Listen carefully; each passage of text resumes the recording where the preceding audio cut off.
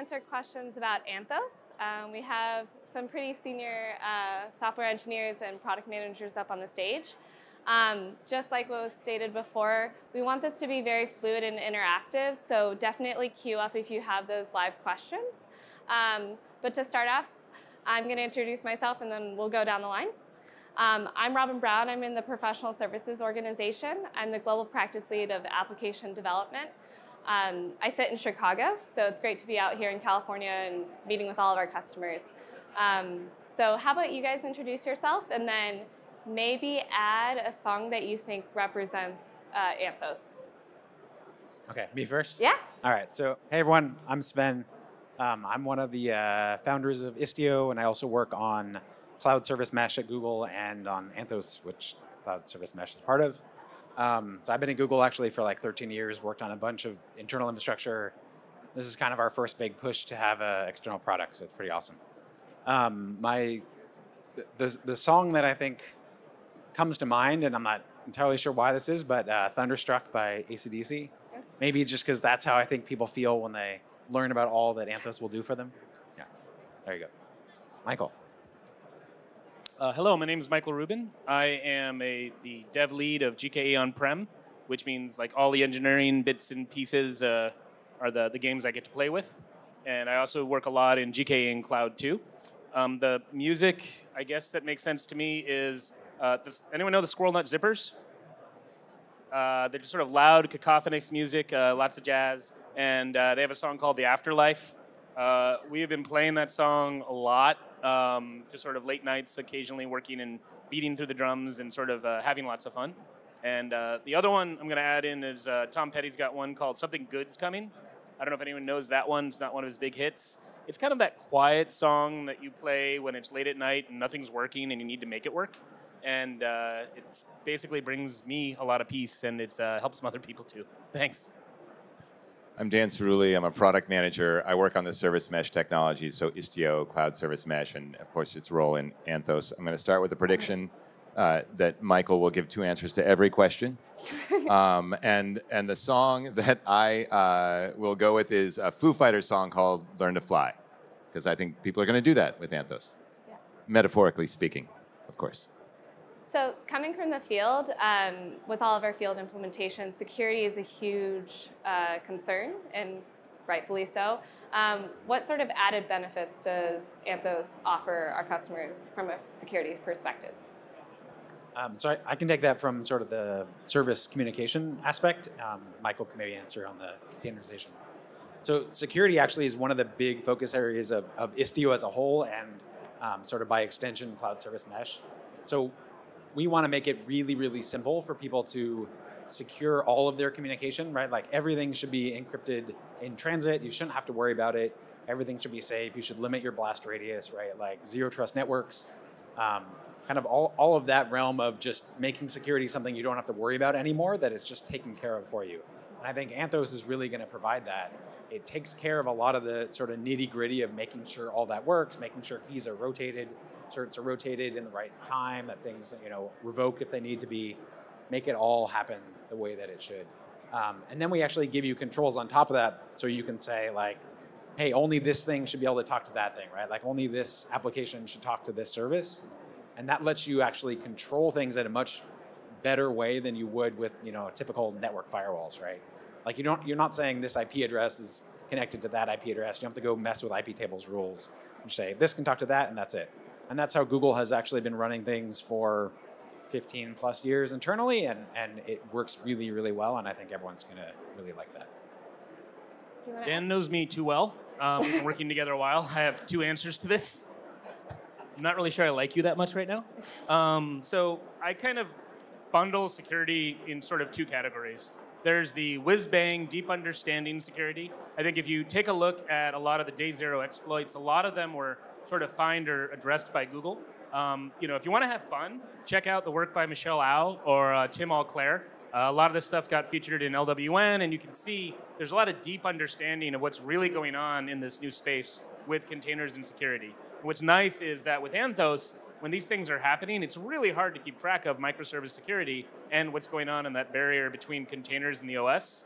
We have an integrated solution that we take care of that for the user.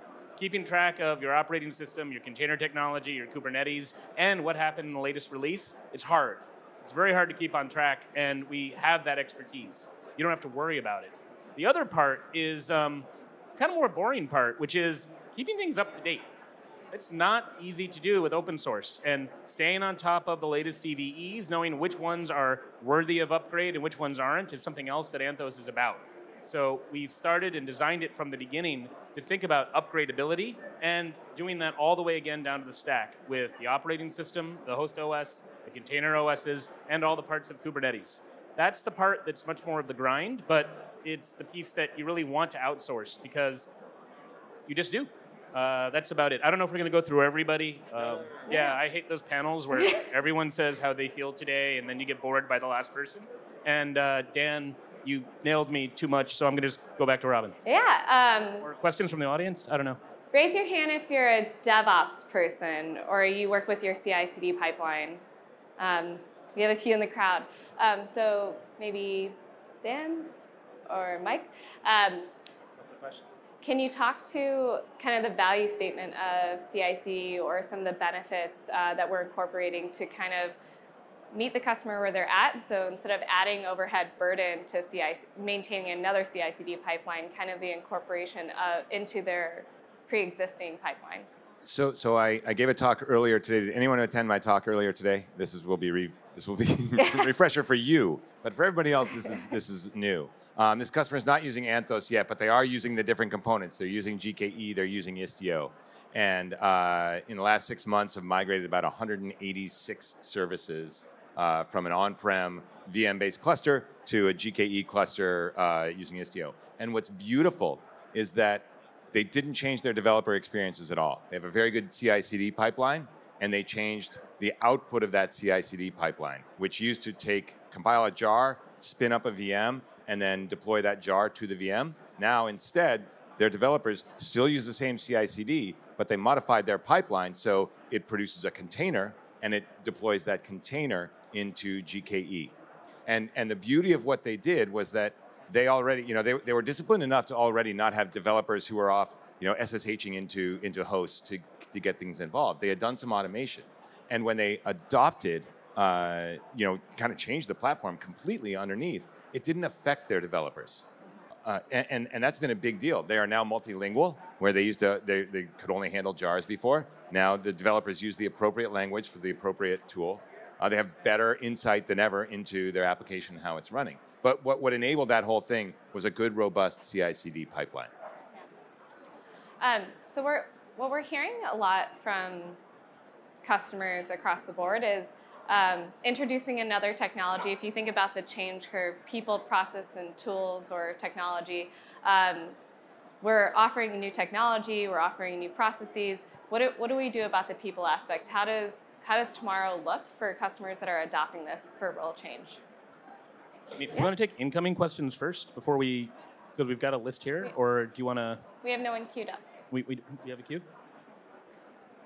We don't have anyone queued Okay. up. So, like, while you're in the audience right now, um, These these two people with red jackets yeah, come. just to let you know, come up to like them. the people here, like Dan, Sven, myself, we have handled like ugly situations with customers. Maybe not always as well as we want, but we've worked and journeyed with the customer. Please feel free to ask what's on your mind. And you know, I, I don't think we'd have the most successful experience right now if you just hear us tell you, you know, a one-way conversation. If we have anybody with some thoughts or even some humdingers that they think, you know, are hard, you know, please feel free. That's fine. That's what we're here for right now. And hopefully, you know, we'll be doing this here. And if you don't want to do it right now, we'll be at the booth later if you want to hit us. Someone's got his hand up. Wonderful. Oh, there we go. Brave soul. Here we go. Hey, thank you, and uh, uh, I'll start the ball rolling. So we've got a hybrid cloud strategy where I work. Uh, we're just about to start with Google, but we've got Azure, we've got IBM Cloud.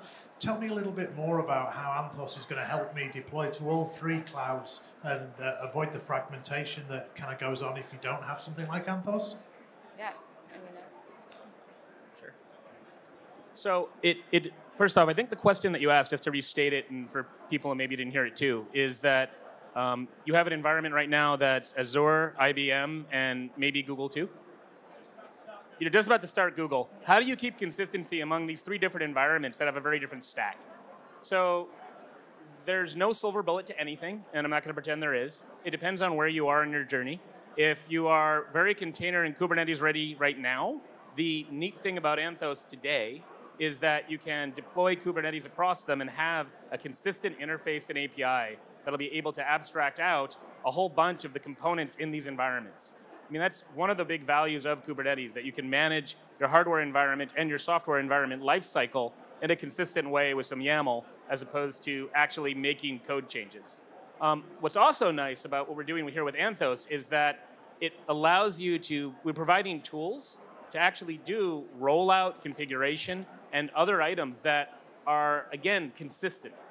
Like consistency and choice is really some of the big points behind Anthos. So I encourage everyone, there's this thing we haven't talked about as much, I think, in the keynotes and other areas, Anthos config management, which is basically how do we use Git, leverage that in YAML to allow you to handle all these environments and resources at different levels, keep it straight, and then deploy it selectively. So I could go and talk about this forever because it's a complicated and complex problem, but if you take a look at the offering, sorry, if you take a look at the offering, you should be able to see that the consistency of the API and the, the goals of making sure that we are abstracting away multi-cloud. You know, our identity story rests quite heavily on OIDC, as opposed to, you know, deeply diving into per environment specific APIs is the thrust and the theme behind the technology. Does that answer your question? Okay. For those not seeing it, he's kind of nodding like he bought it, which is good. Do you have something to add? Yeah, I was going to add something. I don't know. So, so this is what I want to say is that today I heard someone on stage say, with Anthos, you can finally, you know, write once and run anywhere. And you know, any developer says, well, I can write code and run it anywhere today, right? I can take Python, and Python runs the same at Google as it does at Azure, as, as it does at IBM, right? The thing is that everything around that running code, how you network to it, how you authenticate, uh, all of that is very different at IBM and in Azure and, and in Google and on your on-prem. And the idea with Anthos is making all of that consistent so that everything around that can be the same, no matter whether you're deploying to, to Google or to uh, IBM or Azure or, or Amazon. And, and it's that consistency that, that uh, I think we're helping to give you. I, I was just going to add that I think actually Anthos also can help you with moving things around between your different environments too. So Yeah. if, if you you know install Anthos in all the environments, and it's really easy to you know spin up something in a different place, see how it performs, route one percent, ten percent, whatever amount of traffic to it, you know, compare things, do all, all that kind of stuff, and you can actually seam, seamlessly move things around uh, between clouds, between Kubernetes and VMs, right, wherever you want, without anything else um, having to know about it. So that's really useful. I like that one. Um, is there another? I mean, does anyone have Yeah. anything on their mind? You know, where Sven got his clothes? That's fine. Robin, I know Robin's got more, but uh, I'm sorry, you, sir? Hi there. I just wondered if there was um, any particular CD component that you're proposing uh, as part of that. Can you get closer to the mic? I'm Yeah, sorry. sorry. Apologies. Um, yeah, I just wondered if there's any particular CD uh, tool that you're proposing in Anthos. Is it Spinnaker, for instance? Um, Oh, Uh, what is- what is- continuous? Is there a CD yeah, system that's sort of built into Yeah. Anthos or, or proposed to use with Anthos? Oh, this is the marketplace. continuous deployment. yeah. yeah. So the continuous deployment space right now is in a sort of an interesting transformational pivot point. Um, and it looks like, you know, for the longest time, Jenkins has been what people have been using as an automation structure. And it's kind of like the bash script of being able to handle sequential events. And right now, as people are moving into the cloud, the elastic nature of the cloud and the, the more sophisticated needs of concurrency as we scale is creating this really interesting opportunity, I think, for all the technologies. It's kind of fun to watch. You know, the, the, what got us all here is not going to get us there. And so right now, Google has not, you know, we have our opinionated um, conversations and technologies that we're offering, but at the same point, we do what I think we do well. We're trying to make the space successful. So there's this thing out there that I learned about like a few weeks ago called the, the Continuous Delivery Foundation, which is yet another Linux Foundation organization that is supposed to make the open source world look good and you know have us all work together. And we recently donated something called Tekton to it, which is based again upon the same sort of things that we believe will um, allow us to, like I said, take things to the next level, allow us to scale, and allow us to have a, a different API system. So that's a, a good piece of technology to look at right now. But that said, Anthos is very componentizable. So it will work with Jenkins, it will work with other solutions. And I don't know if anyone really has a clear winner for the next five years of where the industry and the conversation is going to go. But what's nice about Anthos is you have choice. You have less risk that when you take Anthos, these APIs are flexible enough that you're not locked in. And to me, uh, when I'm building large systems that are going to last a long time, that's what's valuable. So I can sort of hedge my bets a little bit and see where I want to put my cleverness beans. You're smiling, so again, I feel like it's working. or not. All right. Can you talk about how you um, how you connect to Jenkins to the marketplace? How, how do you connect Jenkins to the marketplace? I still haven't heard the question. So I heard, how do you connect Jenkins to a platypus? Uh, Um, marketplace.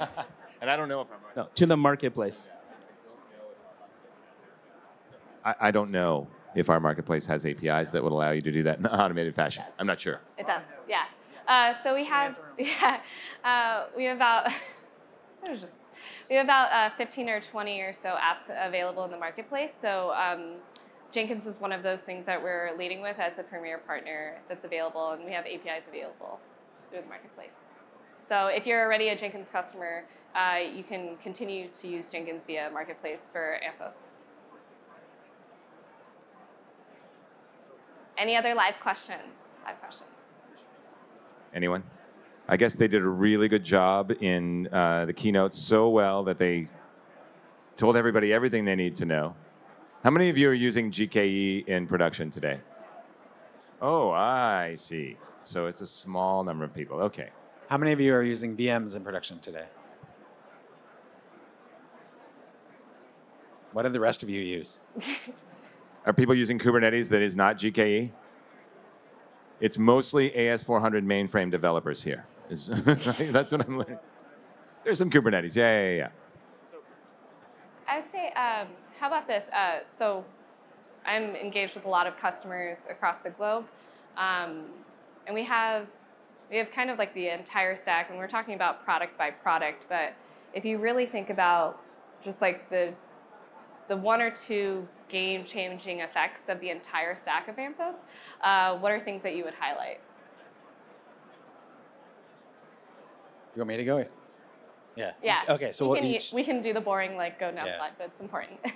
so uh, actually, I'll let, I'll let you guys go. I'll, I'll, I'll think about it. So, so I'll start by, by talking a little bit more about that customer who I talked to, who talked with today, and they kind of related their, their journey to GKE and Istio. And again, they're not on Anthos yet, but they're, they're already seeing these benefits. Um, in addition to things like their spending has gone down, their resource consumption has gone down, and, uh, and they have MTLS. They have much better security than they used to. The real benefit to them is that their 350 services, they used to do a total of about, I think they said 400 deployments a year right? Deployments were a big deal.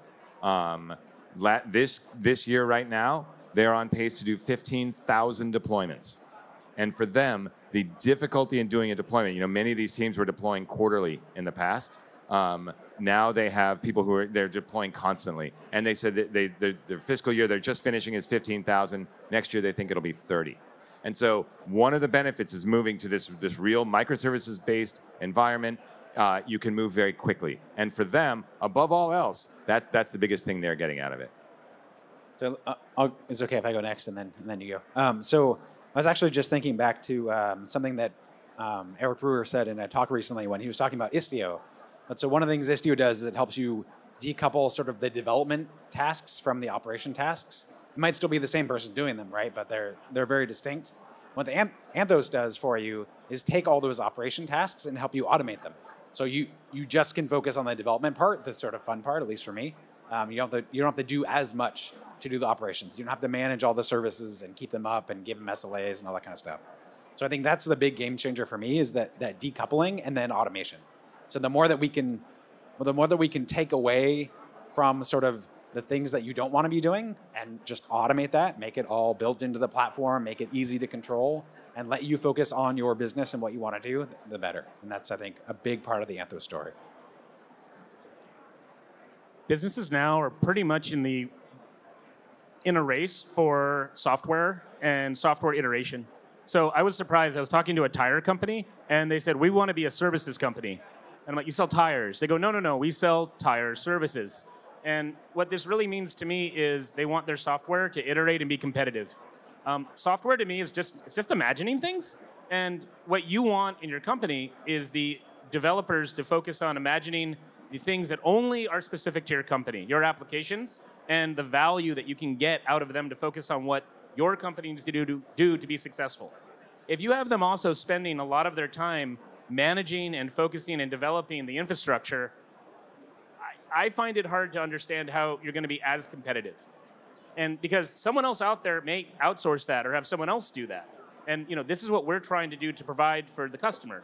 Um, I, I, met this really great person once, a customer who said, I don't want my engineers tinkering with Kubernetes or tinkering with all this infrastructure over and over and over again. We want them to come to you with what needs to be better and then work with you to improve it while they focus on solving our problems. And I think that this sort of partnership is really what Anthos is about.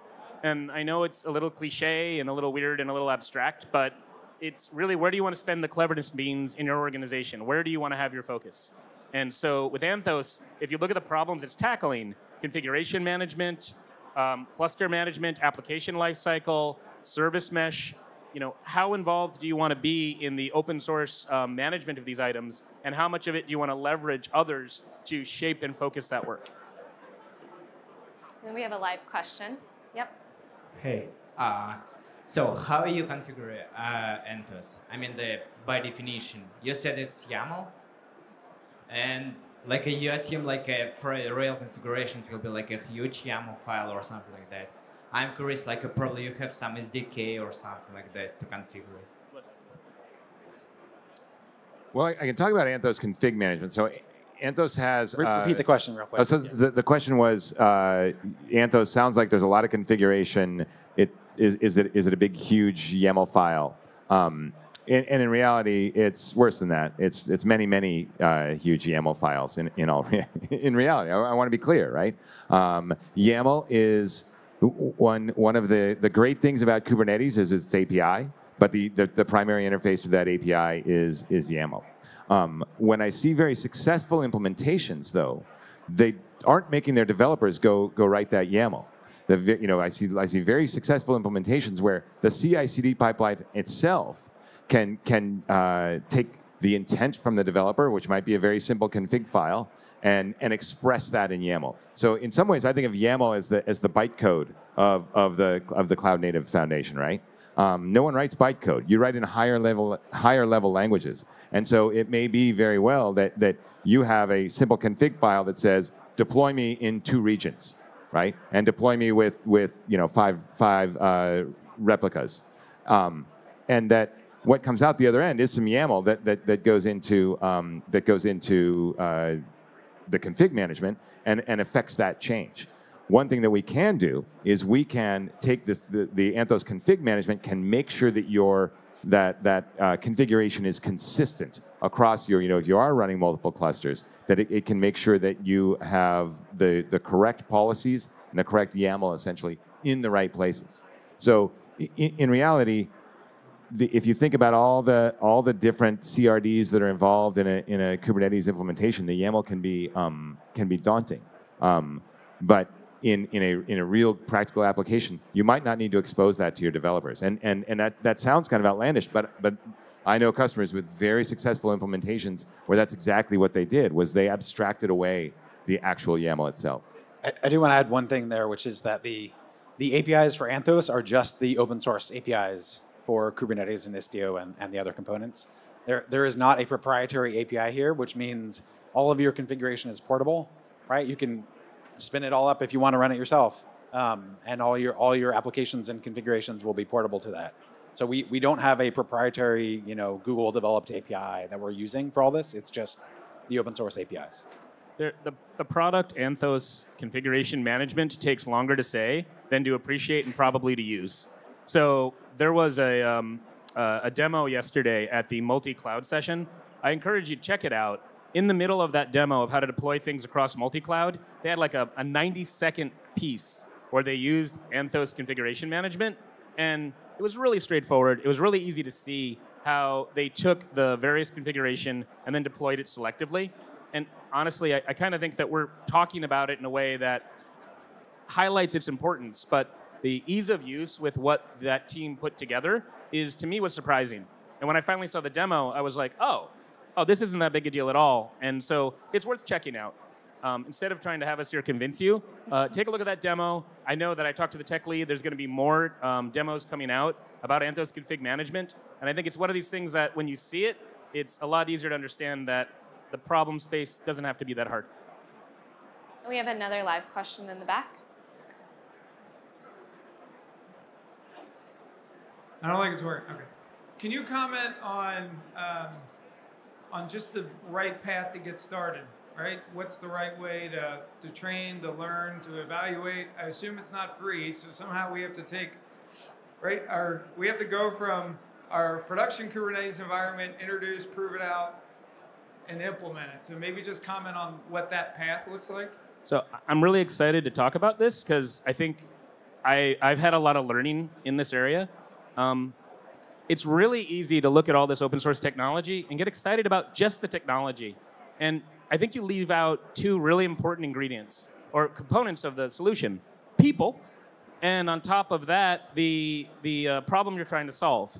And what I've learned is that instead of going from the bottom up and saying, what do my VMs look like? What does my Kubernetes look like? What's the footprint I need?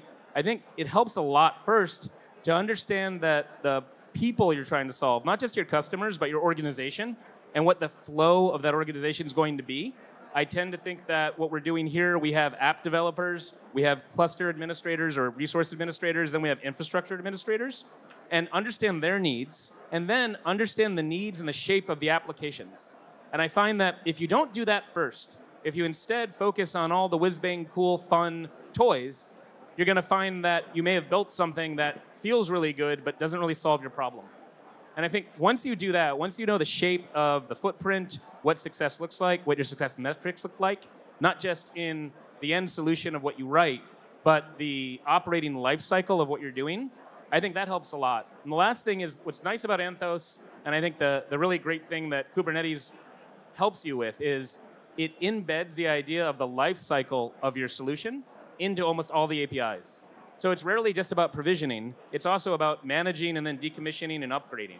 And if you understand the problem you're solving, the people you're dealing with, and all the life cycle of them first, I think you'll start finding that the technology pieces almost fall out of that very easily. Um, I don't know if that's uh, more, I can be more specific Yeah. if you want. Yeah, so how do you get started with Anthos? I, So if you want to get started on Anthos, um, go first. So, everything that Mike said, you don't have to do alone. Um, myself, and there are actually a, quite a few of my team members in the crowd. Um, professional services has been uh, teaming up with Eng and PM very closely over the last year and a half or so to really understand the technology and frame out like what are what are the best practices, what are the gotchas, what are the pitfalls, um, going through everything from the installation of GKE on-prem if you want to do an, on-prem installation, all the way through the stack, config management, uh, CSM or the service mesh layer, um, even looking at things like Knative and Cloud Run, your uh, your entire deployment um, pipeline also. So we're we're deeply involved in all of those things. You don't have to do it alone. You can you can partner with us, and we would be very willing to to do that journey with you. And bringing up the Kubernetes environment um, has been happening a lot faster than the customers have expected so far. So again, I don't want to make a guarantee or a promise on stage, um, or even not on stage. But so far, the customers have been very, very happy with how long it takes from going from the initial environment to actually bringing up a cluster because PSO is trained and the software has been shaped well by people who've been doing this for a while. So getting that cluster up and going first, maybe starting with a stateless workload, and then working from there based on your requirements is probably a good way to get started. And playing with uh, configuration management, I really can't overstate how you understand that and involve it in your workflow early can be helpful. I have just one thing to Uh, so for those of you that have a team to train, we do have a two we have two Coursera courses that are being uh, made available. So our training team does work with our technical leads to uh, roll out architecting with GKE for those of you that need GKE experiences, hands-on experiences, and this would have hands-on lab and, and all. Uh, the second piece is architecting hybrid with Anthos. So that will be made available in a couple months. Uh, so you can look out for those uh, Coursera courses. I think we have time for one last live question. Does anyone have a live question? There you go. So it, it sounds like what I've heard from. oh yeah. Okay. So what I've heard uh, in the um, keynote was this is a multi-cloud solution, but we're purely in GCP. Is it something that we should be looking at um, if we're going through the whole decomposition effort, and, and what does it really give us that we should look at? so uh, absolutely yes, right? So this is um, this is about managing your stuff wherever it is. If it all happens to be in GCP already, awesome, thank you. Um, but yeah, it's it, it's going to give you the security. It's going to give you the networking. You know, GKE gives you great container management. The config manager portion of Anthos is still useful if you run you know anything more than one cluster, right? if you have VMs and, and clusters, you should do that. So yeah, absolutely, it's it's useful, even if you're just on GCP. Our our success metric, our success metric, if I can say that quickly, is um, consistency and choice. So if we end up inadvertently doing something that is only going to work in cloud or only going to work on prem, that's something that we feel we need to evolve past. And the idea here is that it isn't something that you should hopefully have to worry about architecting in over time, and that that's it. Um, and I think let's close this out. And then um, before I do that, just uh, to note, all of us will actually be at a booth with a bunch of other Anthos SMEs right behind this red community corner sign. Uh, so if you have other questions that you want to ask one-on-one or if you want to continue the engagement with professional services or um, something directly with product or engineering, please ask us there. Uh, but just for a closeout, how about one piece of advice moving forward for our, all these customers? Dan, you want to start? Well, I would say that as you as you look on an implementation, thinking about think about why you're doing it and and what your metric of success is. Um, and you know, if you're if your if your goal is to do more deployments, it's a great thing to measure. Then then make sure as you go through that implementation that that's the thing you're you're you're measuring. And and you know know what you're trying to do. Go ahead. You don't want to implement the technology just for technology. Understand what it is you're trying to change, and and make sure that, that you're tracking that. Uh, I have to think about it too. But um, so I, I, think my my biggest piece of advice um, would be to to really think about what you. I, I, sort of what Dan said, but think about what you want to pay for, right? As as a developer, as a business owner, what, whatever role you have, what parts do you want to pay for, and what parts do you want you know someone else to run for you? Um, and I think Anthos is is here for the uh, hopefully most of you that realize that yeah you know I, I don't need to be an expert in running hundreds of thousands of Kubernetes clusters or in managing encryption keys and you know, handling zero day exploits and all that kind of stuff that we can handle for you, right? So, so think about where where you are providing value and focus on that. This is way too much pressure. Um, one piece of advice: listen, watch. Uh, the community now has gotten quite wide. There are many people that I've noticed that I'm engaging with. They're very rarely have I seen a unique problem set. And so talk to each other, listen to each other, and talk to us and listen to us, and realize that right now I think the world is making a large transition. And as we're moving from one environment of on-prem into cloud, you know, again, I guess I'm in a cliche mood today. Um, we really are all doing it together. And so what I like a lot about multi-cloud is that we are we are figuring it out all at the same time, and the evidence in the internet and the um, support is really everywhere.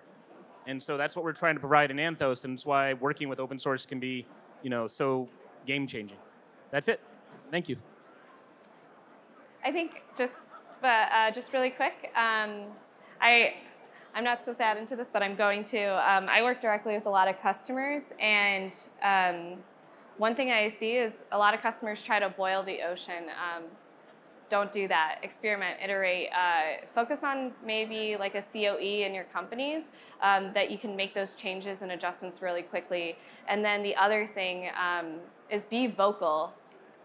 These are this is a fraction of the team that's building this product for all of you. If a product is not serving your use case or your business need, be vocal with professional services or your partners or whoever you're working with, and you can really you can really pave the way of what the product's going to look like in the future. So uh, don't boil the ocean, experiment, iterate fast, and then uh, be vocal.